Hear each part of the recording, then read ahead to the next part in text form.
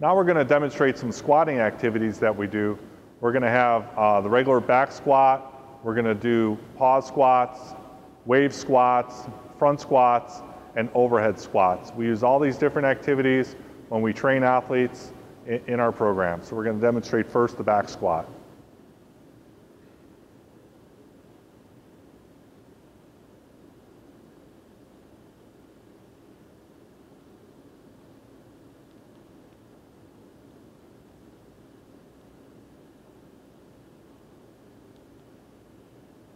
Very good. Nice, good squatting action.